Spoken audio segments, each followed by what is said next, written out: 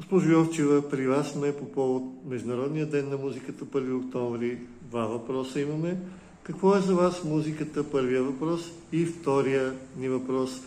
Някой ваш любим изпълнител, а, някой ваш любим стил, жанр, каквото решите да споделите с нас. Ще е интересно. А, благодаря за хубавите въпроси.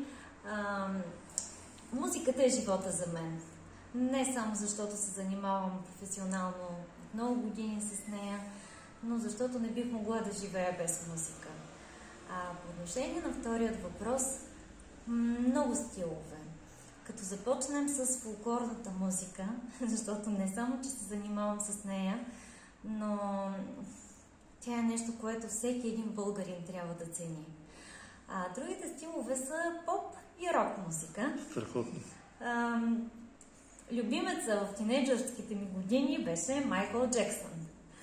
Обичах много Марая Кери, Уитни Хюстън, български изпълнители също. Обичам да слушам и сега Орлин Павлов, много други български изпълнители, които в момента няма да назова, но искам да кажа и рок музика. ACDC, Bon Jovi и други. Госпожо Йовчева, нещо да така кажете, да се обърнете към всички, които ще ви гледат по повод Международния ден на музиката, нещо свързано с това, някакво послание от вас. Обичайте музиката, слушайте хубава музика, защото тя може да ни направи само по-добри и по-човечни. Страхотно.